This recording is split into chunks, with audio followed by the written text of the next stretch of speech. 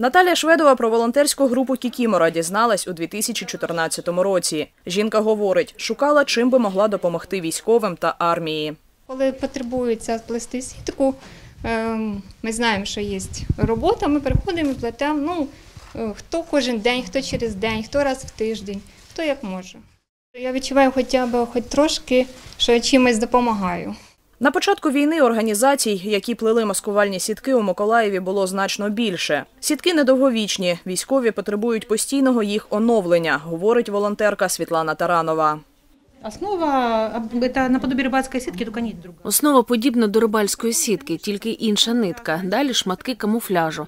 Раніше колись секонд-хенд використовували, зараз камуфляж. Ріжеться і заплітається в малюнки. Зараз наші сітки, мабуть, дуже професійно виглядають. У нас є світлини у порівнянні з тими, які ми плели на початку війни. На початку війни це був суто секонд. Ми, звичайно, підбирали кольори, різали і плели. Зараз вже з камуфляжу це виходить дуже професійна сітка. Розміри сіток в середньому 6 на 9 метрів. Були і більші 18 та 20 метрів, розповідає Світлана Таранова. Сама эта сетка, она реально не вечна. Ну, Сама сітка реально не вічна, дивлячись, де затягнули, десь стенд зробили, десь техніку затягнули. Вона вигорає, вона чудово горить. Тобто, якщо якесь попадання, вона звичайно згорає. Коли вигорає, псується сама тканина, і основа також не вічна, щоб переплітати її. Тобто, це такий продукт не вічний, він постійно потрібен. Поки війна не закінчиться, треба плести, говорить волонтерка Тетяна. Маленька фабрика така. Все нам зараз є. Прийшли, швиденько зробили і відправили. І так сьомий рік. Зараз хлопці на передовій. Вони кажуть, ось ми стоїмо просто небо, БТР зарити.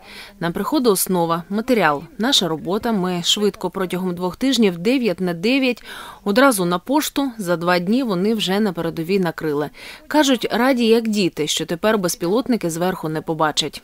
У 2015 році у волонтерів групи Кікімора з'явився свій шеврон. А у майстерні, де плетуть сітки, стоїть талісман групи маскувальний костюм, якому дали ім'я Зіночка. Протягом шести років через групу волонтерів пройшло кілька тисяч людей, говорить Світлана Таранова.